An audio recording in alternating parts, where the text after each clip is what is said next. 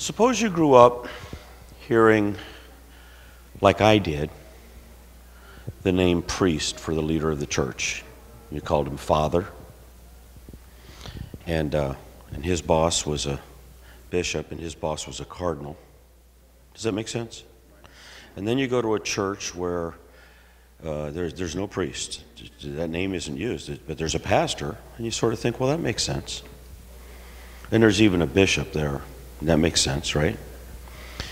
And then you go to a church where the person that was the priest or the pastor in those two previous churches is now called elder. But in your second church, the person that was called elder was the person that assisted the deacons who assisted the pastor. And in the Catholic Church, the first one where there was a priest, they didn't even have elders. They had lay leaders. And I'm not playing with words. I'm saying that you start to wonder what's the Bible say about positions of leadership in the church? And I grew up where the leader in the local church was a priest. And then I went to a place where we uh, were just having Bible studies in a house before I came to Christian Fellowship, and nobody had any titles. It was Jerry who was leading the Bible study, and Jerry's name was Jerry, and Jerry's title was Jerry. Jerry was like a lot of singers, one, one name. Hi, Jerry. right?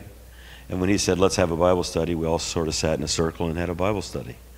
And, uh, and so this topic of eldership is really one of saying, let's, let's go to the, the whiteboard of our life and erase it and say, what's the Bible say about leadership positions in the church? Does that make sense?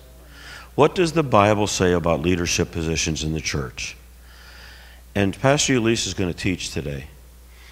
But you see, when I became introduced to a Protestant church, elders were was a group of people that had a, an administrative role in the church, right? But when you start to read it in Scripture, maybe that's not exactly how they did it in the Old Testament and in the New Testament. Now, this is a very deep theological topic. I'm not making light of it. But I'm saying sometimes when we start to study it, we have to remember that the names, titles, positions we heard growing up may not match the Scripture. And so, if we're willing to say, okay, what's the Bible say about these positions? And even if I grew up hearing something different, it's not pointing at somebody who's wrong. It's saying, let's, let's line up with Scripture and do it that way.